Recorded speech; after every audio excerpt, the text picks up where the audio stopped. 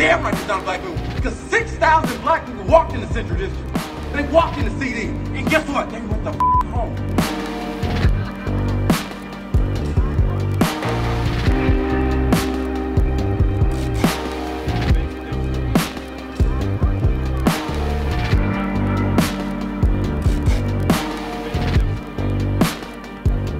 SPD will be returning to the East Precinct. We will do it peacefully and in the near future.